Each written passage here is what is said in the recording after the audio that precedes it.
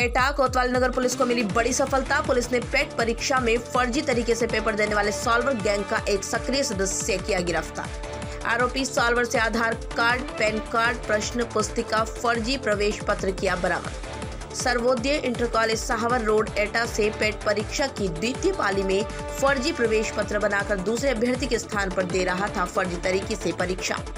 SHO कोतवाली नगर doctor Sudhir Kumar Singh ने आरोपी को गिरफ़्तार कर पुलिस जाँच में जुटी।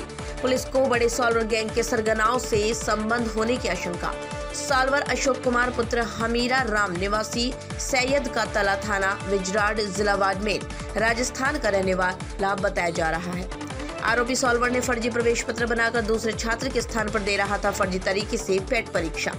थाना कोतवाल नगर क्षेत्र के Sarvodaya inter college Sahawar road का है मामला। रिपोर्ट हर्ष देदी एटा।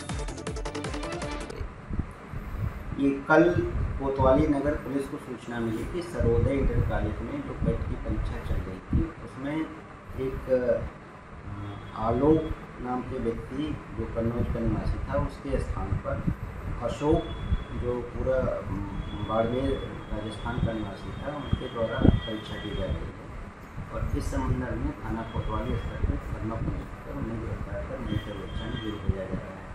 अभी की तलाशी से फर्जी प्रपत्र प्राप्त हुए हैं। उनको विवेचना का पार्ट बनाया गया है। और इस गैंग से संबंधित सभी सदस्यों की भूमिका के संबंध में जाँच की जा रही है। इसमें प्रभावी